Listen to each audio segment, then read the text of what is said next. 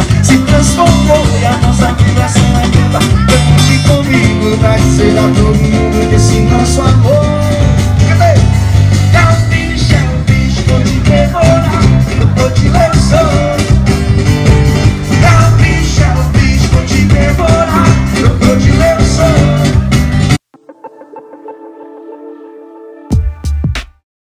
Vou falar agora sobre os transportes, os pontos positivos. Os ônibus são de boa qualidade, são ônibus todos personalizados, uns têm ar-condicionado, outros não, são todos limpinhos.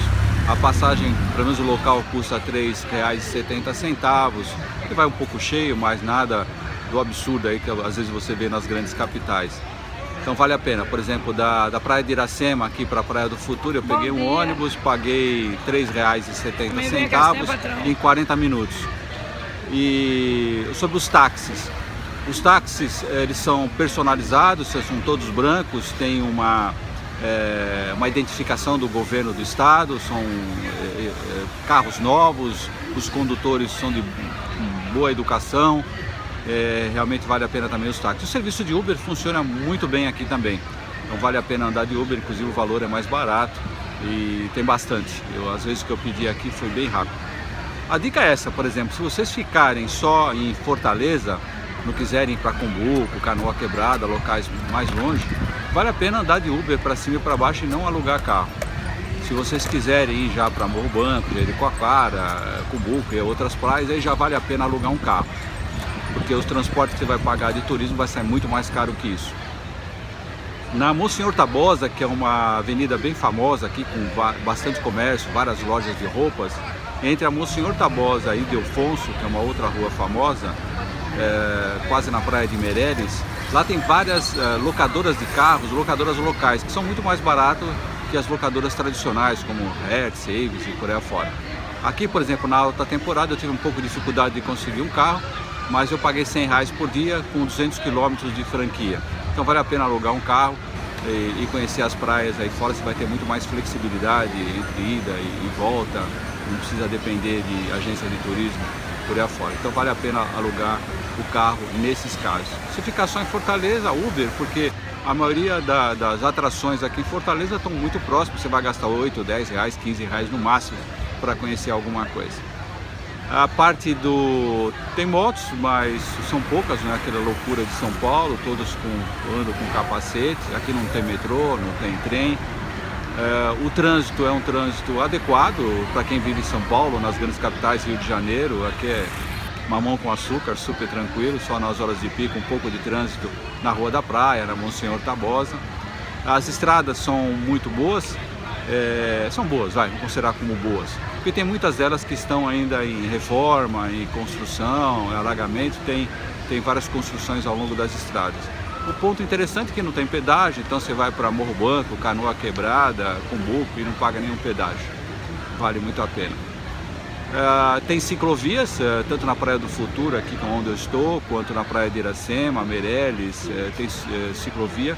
Você pode alugar uma bicicleta por 15 reais a hora, pode andar por toda a orla.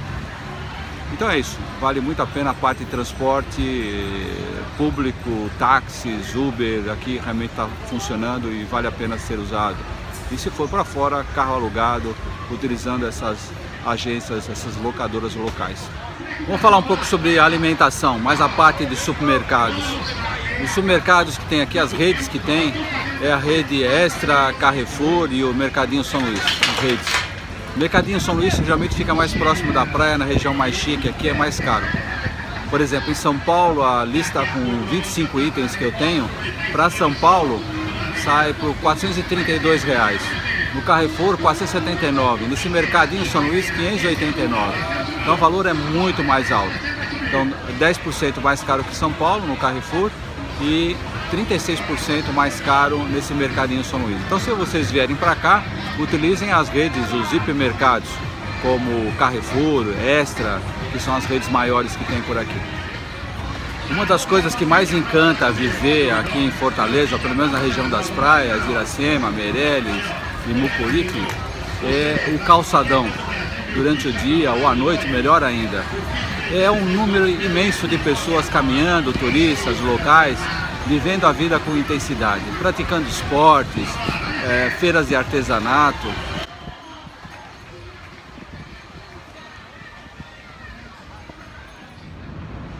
Então pessoal, retomando o que eu estava falando, ontem eu estava na Praia do Futuro, deu um pé d'água, não deu para dar continuidade nas gravações. Eu estava falando sobre o calçadão de toda a orla aqui de Meireles, Tiracema, Mucuripe.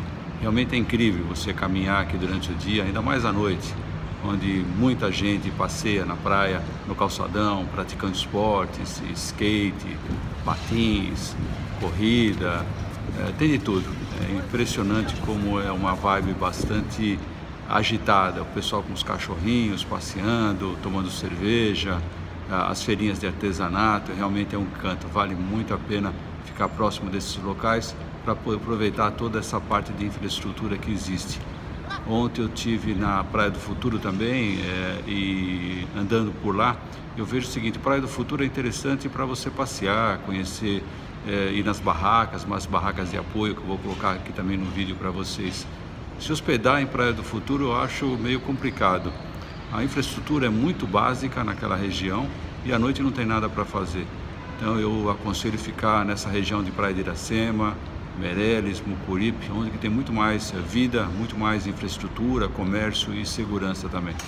Sobre a parte de moradia, eh, tem bons apartamentos eh, ao redor da praia aqui de Iracema, Meireles, por volta de 8 mil reais o metro quadrado. Os apartamentos, em termos de tamanho, por volta de 70 metros quadrados, você vai pagar em torno de 530 mil reais com duas vagas na garagem. É, dá uma olhada no condomínio, porque às vezes tem prédios pequenos que o condomínio é mil, mil cem, mil duzentos reais, mas tem prédios grandes com condomínio por volta de 500, 600 reais. IPTU por volta, com tamanho do, de, de, prédio ou de apartamento de 70 metros quadrados, por volta de 50, 60 reais por mês. Nenhum absurdo. No caso de aluguel, um apartamento nessa medida é, de 70 metros quadrados, em torno de 1.500 a 2.000 reais. Toma cuidado novamente com o valor de condomínio, que às vezes pode ser maior que o próprio valor do aluguel. Sobre mendingagem, eu não vi muito, vi muito pouco, isso é bom. Lógico que existem é, regiões aqui fora da orla muito, muito pobres, isso é muito ruim, mas faz parte, acho que todo o Brasil você vê isso, inclusive em São Paulo. É, sobre vendedores ambulantes, tem bastante na praia, mas está é, sob controle. Existe uma fiscalização constante para o pessoal não inundar de vendedores como nós temos em São Paulo, infelizmente. É muito bem adequado, muito bem controlado. Apesar de termos saúde pública gratuita no Brasil, eh, não podemos depender somente da saúde pública. Em alguns casos, devemos recorrer a planos privados, quando possível, é claro. Em Fortaleza não é diferente.